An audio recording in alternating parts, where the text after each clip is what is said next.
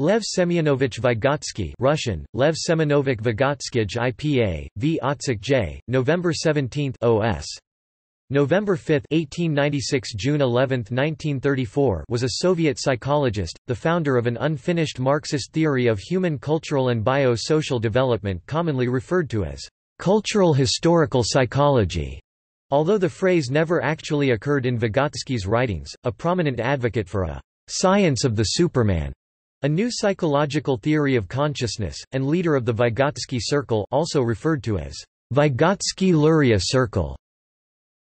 Despite his claim for a new psychology that he foresaw as a science of the Superman of the communist future, Vygotsky's main work was in developmental psychology and he proposed a theory of the development of higher psychological functions that saw human psychological development as emerging through interpersonal connections and actions with the social environment. During an earlier mechanistic and reductionist instrumental psychology period of his career 1920s, he argued that human psychological development can be formed through the use of meaningless i.e., virtually random signs that he viewed as psychological equivalent of instrument use in human labor and industry. Later, in the holistic Period of his career first half of 1930s, Vygotsky rejected his earlier reductionist views on signs. Under the increasing influence from the holistic thinking of the scholars primarily associated with German-American Gestalt psychology movement Vygotsky adopted their views on psychological systems and, inspired by Kurt Lewin's topological and vector psychology, introduced the vague notion of the zone of proximal development it was during this period that he identified play of young children as their leading activity that he understood as the main source of preschoolers' psychological development, which he viewed as the inseparable unity of emotional, volitional, and cognitive development. As early as in mid-1920s, Vygotsky's ideas were introduced in the West, but he remained virtually unknown until the early 1980s when the popularity among educators of the developmental psychology of Jean Piaget (1896–1980) started to decline and, in contrast, Vygotsky's notion of the zone of proximal development became a central component of the development of the so-called social constructivist turn in developmental and, primarily, educational psychology and practice.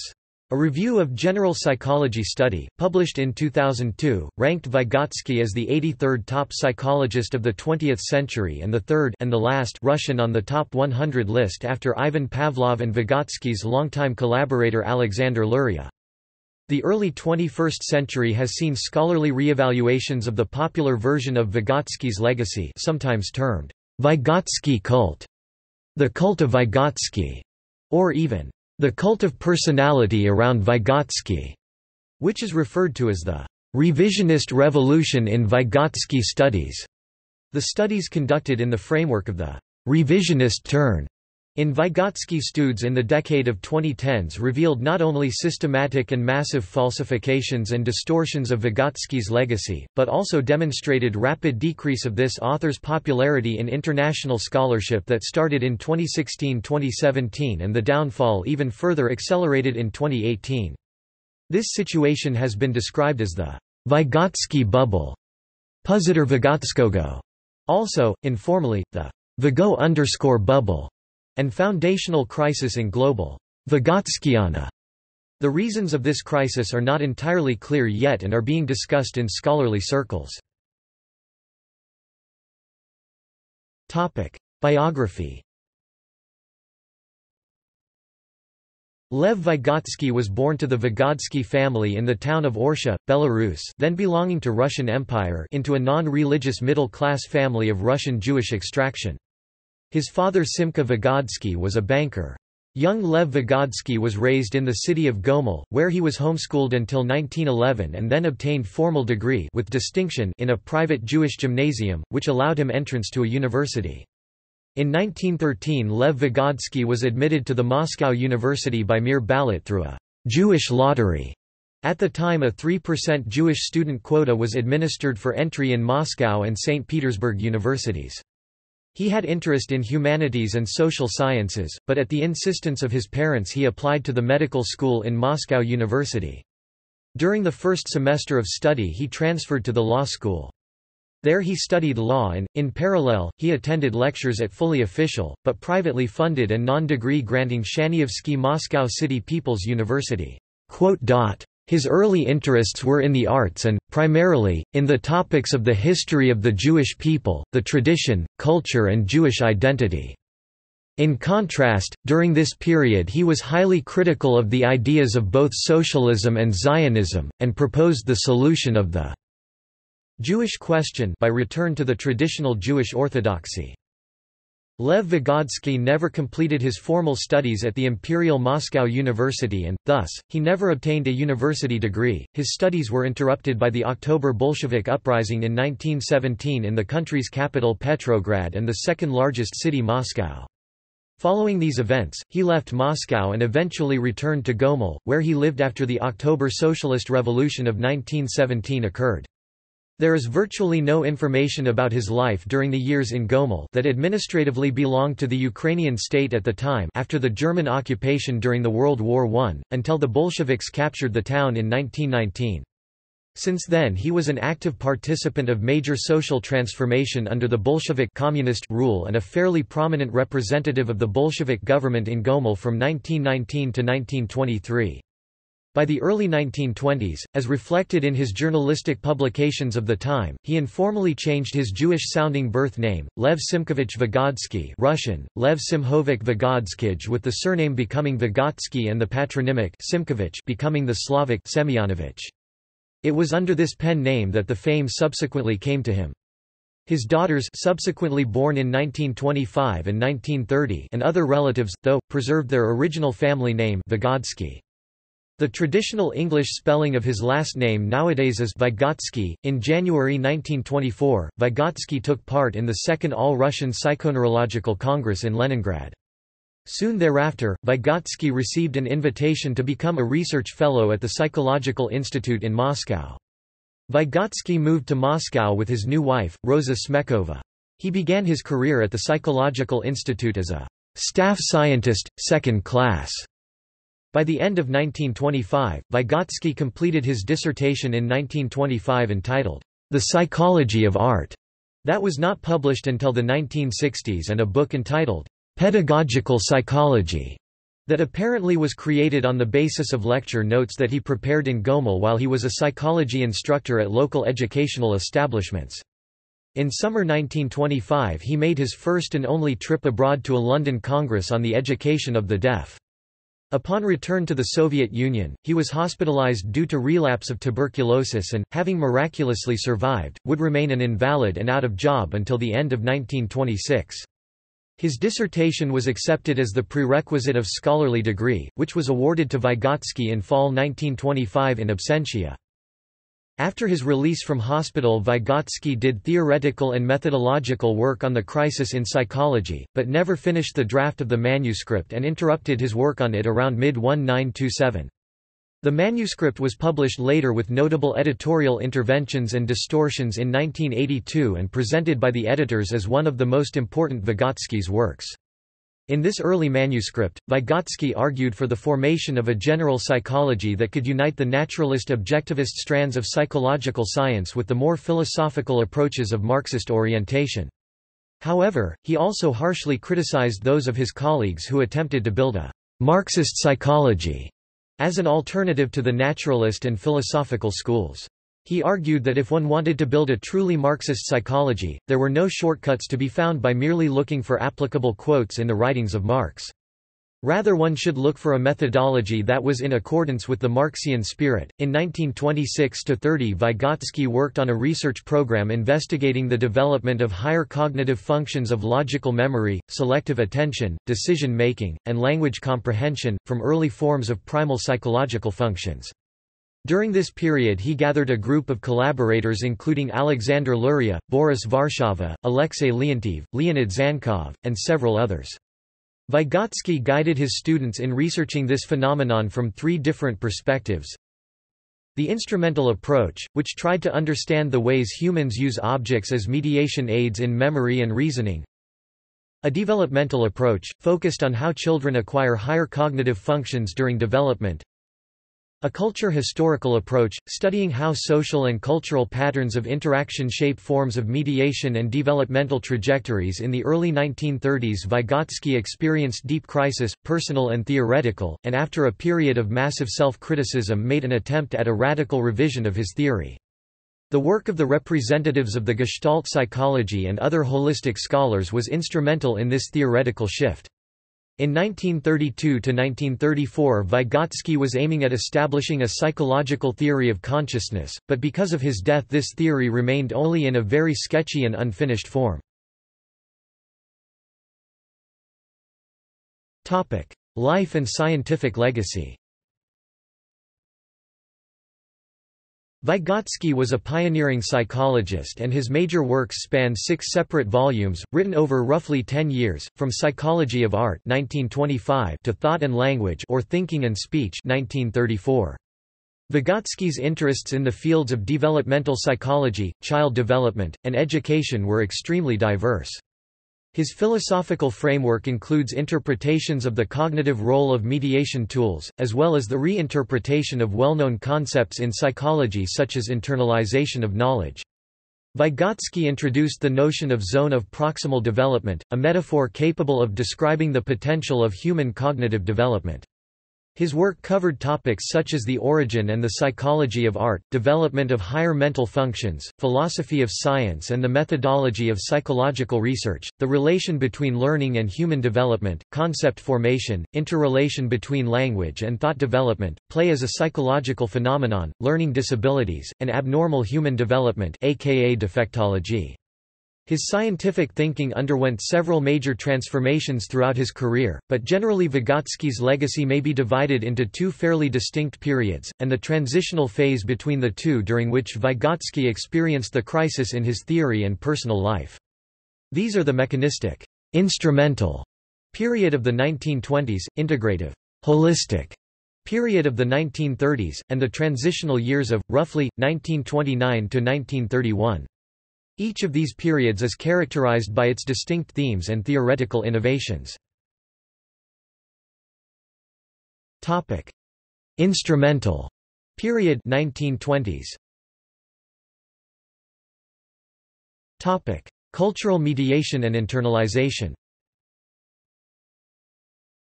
Vygotsky studied child development and the significant roles of cultural mediation and interpersonal communication. He observed how higher mental functions developed through these interactions, and also represented the shared knowledge of a culture. This process is known as internalization. Internalization may be understood in one respect as knowing how. For example, the practices of riding a bicycle or pouring a cup of milk initially, are outside and beyond the child. The mastery of the skills needed for performing these practices occurs through the activity of the child within society. A further aspect of internalization is appropriation, in which children take tools and adapt them to personal use, perhaps using them in unique ways. Internalizing the use of a pencil allows the child to use it very much for personal ends rather than drawing exactly what others in society have drawn previously. The period of crisis, criticism, and self-criticism 1929 to 1932. In 1930s Vygotsky was engaged in massive reconstruction of his theory of his «instrumental» period of the 1920s. Around 1929–1930 he realized numerous deficiencies and imperfections of the earlier work of the Vygotsky Circle and criticized it on a number of occasions, in 1929, 1930, in 1931, and in 1932. Specifically, Vygotsky criticized his earlier idea of radical separation between the lower and higher psychological functions and, around 1932, appears to abandon it. Vygotsky's self-criticism was complemented by external criticism for a number of issues, including the separation between the higher and the lower psychological functions, impracticality and inapplicability of his theory in social practices such as industry or education during the time of rapid social change, and vulgar Marxist interpretation of human psychological processes. Critics also pointed to his overemphasis on the role of language and, on the other hand, the ignorance of the emotional factors in human development. Major figures in Soviet psychology such as Sergei Rubinstein criticized Vygotsky's notion of mediation and its development in the works of students. Following criticism and in response to generous offer from the highest officials in Soviet Ukraine, a major group of Vygotsky's associates, the members of the Vygotsky Circle, including Luria, Mark Lebedinsky, and Leontiev, moved from Moscow to Ukraine to establish the Kharkiv School of Psychology. In the second half of the 1930s, Vygotsky was criticized again for his involvement in the cross-disciplinary study of the child known as pedology and in critical borrowings from contemporary bourgeois science. Considerable critique came from the alleged Vygotsky's followers, such as Leontiev and members of his research group in Kharkiv.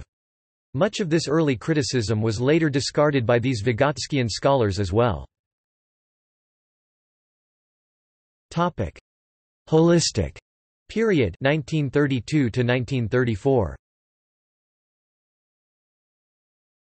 The period of major revision of Vygotsky's theory and its transition from mechanist orientation of his 1920s to integrative holistic science of the 1930s. During this period Vygotsky was under particularly strong influence of holistic theories of German-American group of proponents of Gestalt psychology, most notably, the peripheral participants of the Gestalt movement Kurt Goldstein and Kurt Lewin. However, Vygotsky's work of this period remained largely fragmentary and unfinished and, therefore, unpublished. Zone of proximal development Zone of proximal development ZPD is Vygotsky's term for the range of tasks that a child is in the process of learning to complete. In the original Vygotsky's writings this phrase is used in three different meanings. Vygotsky viewed the ZPD as a better way to explain the relation between children's learning and cognitive development. Prior to the ZPD, the relation between learning and development could be boiled down to the following three major positions. 1 Development always precedes learning e.g., constructivism, children first need to meet a particular maturation level before learning can occur. 2 Learning and development cannot be separated, but instead occur simultaneously e.g., behaviorism, essentially, learning is development. And 3 Learning and development are separate, but interactive processes e.g., gestaltism, one process always prepares the other process process, and vice versa.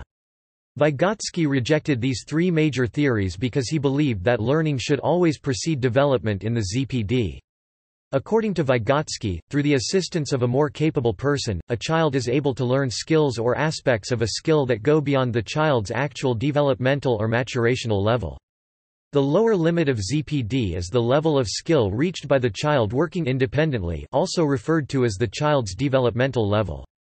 The upper limit is the level of potential skill that the child is able to reach with the assistance of a more capable instructor. In this sense, the ZPD provides a prospective view of cognitive development, as opposed to a retrospective view that characterizes development in terms of a child's independent capabilities. Thinking and speech Perhaps Vygotsky's most important contribution concerns the interrelationship of language development and thought. This problem was explored in Vygotsky's book, Thinking and Speech, entitled in Russian, Myshlenie i Rek, that was published in 1934. In fact, this book was a mere collection of essays and scholarly papers that Vygotsky wrote during different periods of his thought development and included writings of his instrumental and holistic periods. Vygotsky never saw the book published, it was published posthumously, edited by his closest associates Kolbanovsky, Zankov, and Schiff not sooner than December, 1934, i.e., half a year after his death. First English translation was published in 1962 with several later revised editions heavily abbreviated and under an alternative and incorrect translation of the title Thought and Language for the Russian title MYSL. The book establishes the explicit and profound connection between speech both silent inner speech and oral language, and the development of mental concepts and cognitive awareness. Vygotsky described inner speech as being qualitatively different from verbal external speech. Although Vygotsky believed inner speech developed from external speech via a gradual process of internalization, i.e., transition from the external to the internal, with younger children only really able to think out loud He claimed that in its mature form, inner speech would not resemble spoken language as we know it in particular, being greatly compressed. Hence, thought itself developing socially. Death 1934 and posthumous fame Vygotsky died of tuberculosis on June 11, 1934, at the age of 37, in Moscow, Soviet Union. One of Vygotsky's last private notebook entries gives a proverbial, yet very pessimistic self-assessment of his contribution to psychological theory. This is the final thing I have done in psychology, and I will like Moses die at the summit, having glimpsed the promised land but without setting foot on it. Farewell, dear creations. The rest is silence. Immediately after his death, Vygotsky was proclaimed one of the leading psychologists in the Soviet Union, although his stellar reputation was somewhat undermined by the decree of the Central Committee of the Communist Party of 1936 that denounced the mass movement, discipline, and related social practice of the so-called pedology. Yet, even despite some criticisms and censorship of his works, most notably, in the post-Stalin era in the Soviet Union of 1960s to 1980s by his Russian alleged and self-proclaimed best students and followers, Vygotsky always remained among the most quoted scholars in the field and has become a cult figure for a number of contemporary intellectuals and practitioners in Russia and the international psychological and educational community alike. Influence worldwide Eastern Europe In the Soviet Union, the work of the group of Vygotsky's students known as the Vygotsky Circle was vital for preserving and, in many respects, distorting the scientific legacy of Lev Vygotsky. The members of the group subsequently laid a foundation for Vygotskyan psychology's systematic development in such diverse fields as the psychology of memory p. Zinchenko, Perception, Sensation, and Movement Zaporozhets, Asnin, A. N. Leontiev, Personality Lydia Bozhovich, Asnin, A. N. Leontiev, Will and Volition Zaporozhets, A. N. Leontiev, P. Zinchenko, L. Bozhovich, Asnin, Psychology of Play G. D. Lukov, Daniil Elkonin and Psychology of Learning P. Zinchenko, L. Bozhovich, D. Elkonin, as well as the theory of step-by-step -step formation of mental actions Pyotr Galperin, General Psychological Activity Theory A. N. Leontiev and Psychology of Action Zaporozhets. Andrei Puzyrei elaborated the ideas of Vygotsky in respect of psychotherapy and even in the broader context of deliberate psychological intervention psychotechnique, in general. In Laszlo Garai founded a Vygotskyan research group. North America In North America, Vygotsky's work was known from the end of the 1920s through a series of publications in English, but it did not have a major impact on research in general. In 1962 a translation of his posthumous 1934 book, Thinking and Speech, published with the title, Thought and Language, did not seem to change the situation considerably.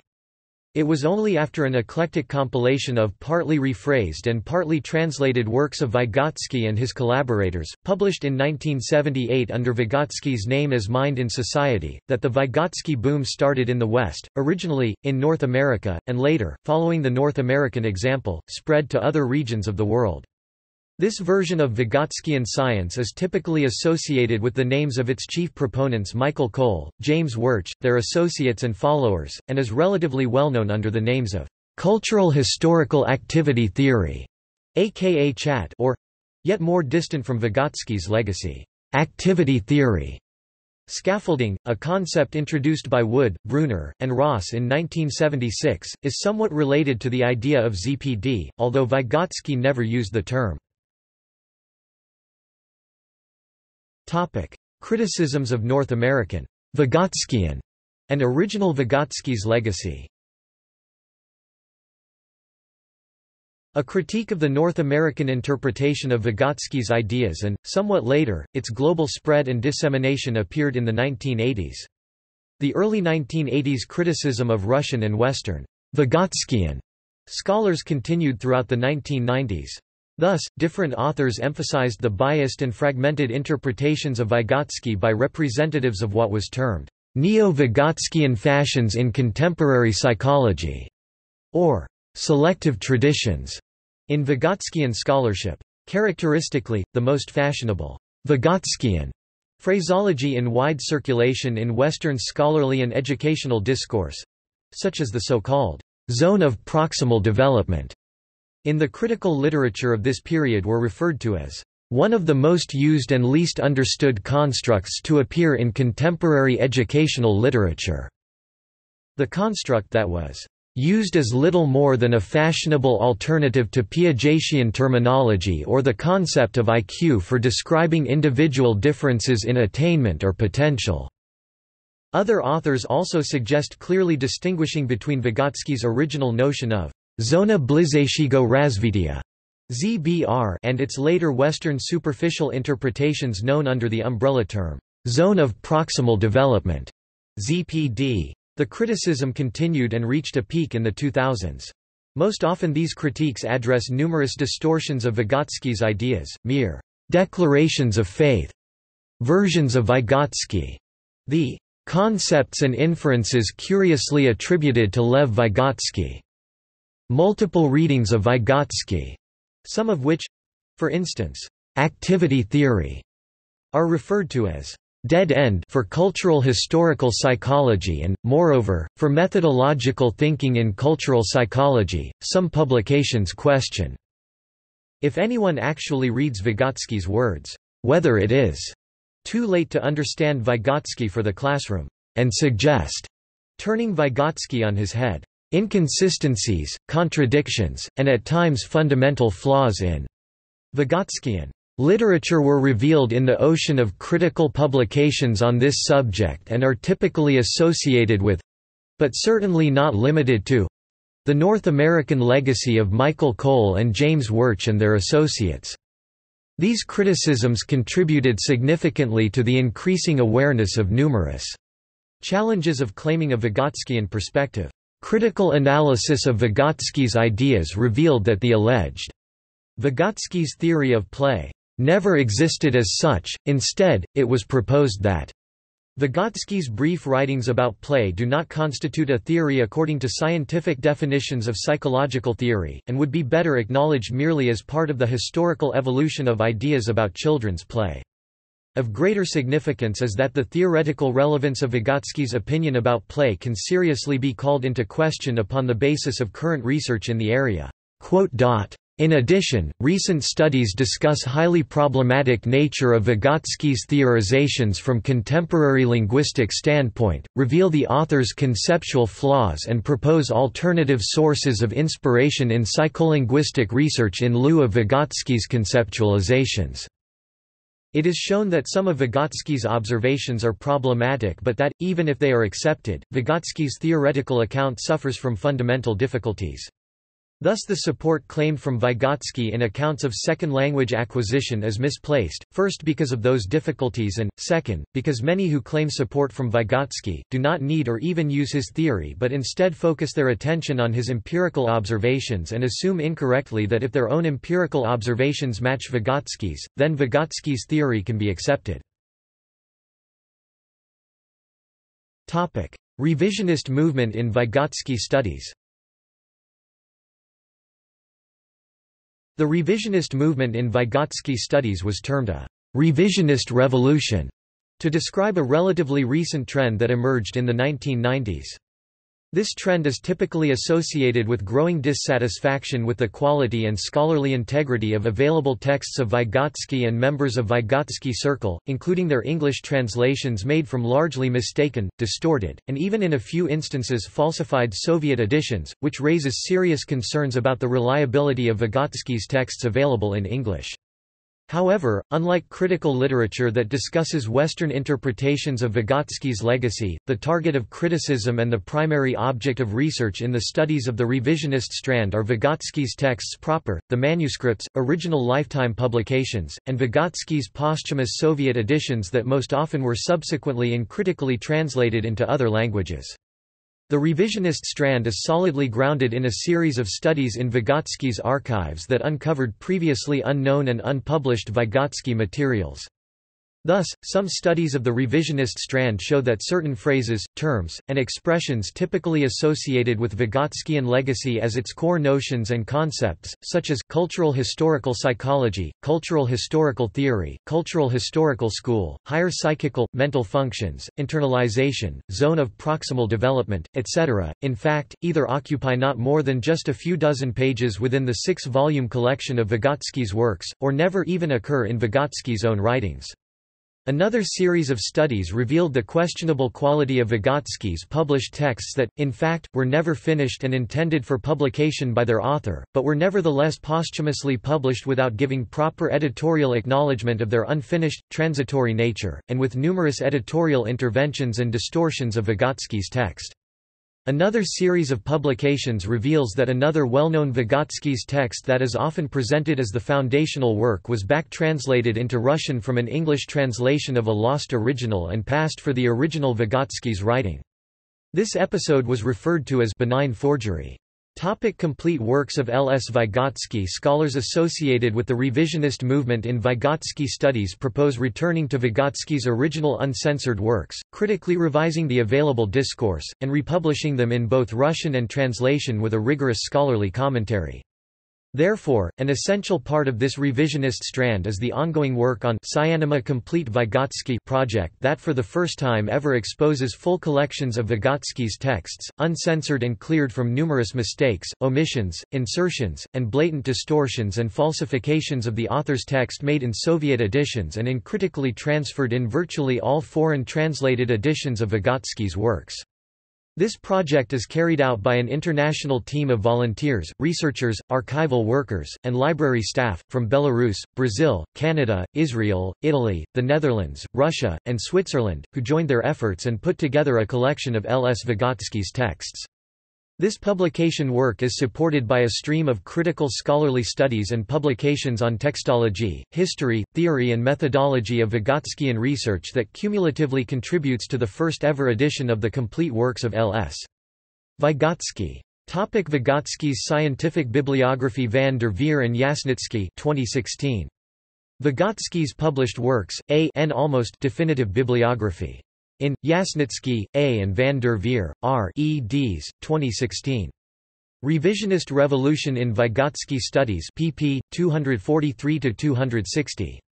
London and New York, Routledge Topic Works Consciousness as a Problem in the Psychology of Behavior, Essay, 1925 Educational Psychology, 1926 Historical Meaning of the Crisis in Psychology, 1927 The Problem of the Cultural Development of the Child, Essay 1929 The Fundamental Problems of Defectology, Article 1929 The Socialist Alteration of Man, 1938, Primitive Man, and Child, Essays in the History of Behavior, A. R. Luria and L. S. Vygotsky Vygotsky, 1930 Pedology of the Adolescent, 1931 Play and its Role in the Mental Development of the Child, Essay 1933 Thinking and Speech, 1934 Tool and Symbol in Child Development, 1934 Mind in Society, The Development of Higher Psychological Processes, 1930 Thought and Language, 1934 The Collected Works of L.S.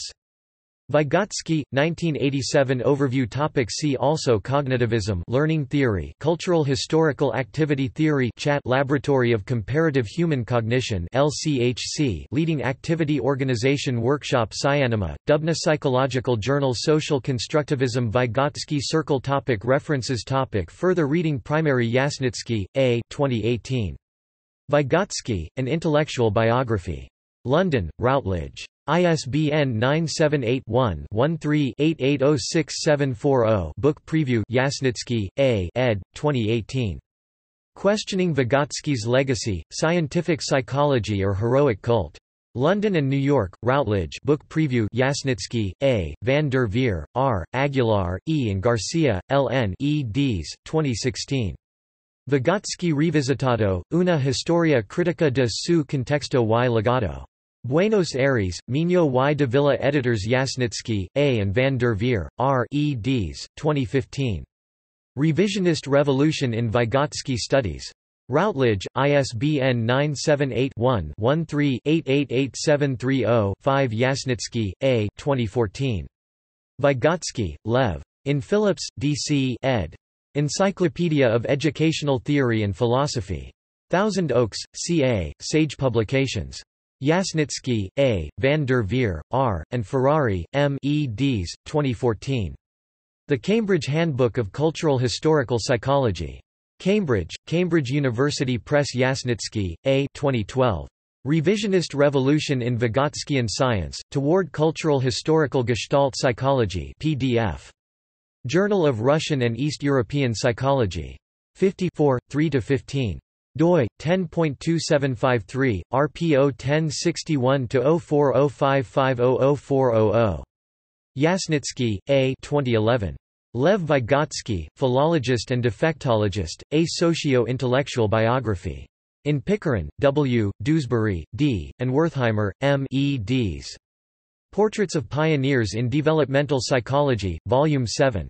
Van der Veer, R., and Valsiner, J. eds. 1994. The Vygotsky Reader. Oxford, Blackwell. Van der Veer, R., and Valsiner, J. 1991.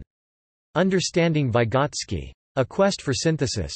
Oxford, Basil Blackwell, Secondary Kozulin, A. 1990. Vygotsky's Psychology, A Biography of Ideas. Cambridge, Massachusetts, Harvard University Press. Vygotskaya, G. L., and Lifanova, T. M. 1996–1999. Lev Semenovich Vygotsky, Journal of Russian and East European Psychology, Part 1, 37 2, 3–90, Part 2, 37 3, 3–90, Part 3, 37 4, 3–93, Part 4, 37 5, 3–99. Van der Veer, René 2007. Lev Vygotsky, Continuum Library of Educational Thought. Continuum. ISBN 0-8264-8409-3. Daniels, H., Wertsch, J. and Cole, M. eds. 2007. The Cambridge Companion to Vygotsky. Yasnitsky, A. 2010. Archival Revolution in Vygotskyan Studies? Uncovering Vygotsky's Archives. Journal of Russian and East European Psychology. 48 3–13 doi 10.2753 RPO 1061 04054801000 Yasnitsky, A. 2011. Vygotsky Circle as a personal network of scholars, restoring connections between people and ideas. Integrative Psychological and Behavioral Science. 45 to 422-457 doi 10.1007 per seconds 12124 011 9168 5 van der Veer R Yasnitsky A 2011 Vygotsky in English, What Still Needs to Be Done. Integrative Psychological and Behavioral Science. Yasnitsky, A. 2011. The Vygotsky That We Do Not Know, Vygotsky's Main Works and the Chronology of Their Composition. Psyanima, Dubna Psychological Journal 4 4. Topic external links Media related to Lev Vygotsky at Wikimedia Commons Quotations related to Lev Vygotsky at Wikiquote Lev Vygotsky Archive, Marxists.org, all major works The Mozart of Psychology Vygotsky article with extensive references. Garai, L. Another Crisis in the Psychology, a possible motive for the Vygotsky boom, Annotated bibliography of scholarly histories on Vygotsky, Advances in the History of Psychology, York University. Tools of the Mind. Wikilivres has original media or text related to this article, Lev Vygotsky in the public domain in South Korea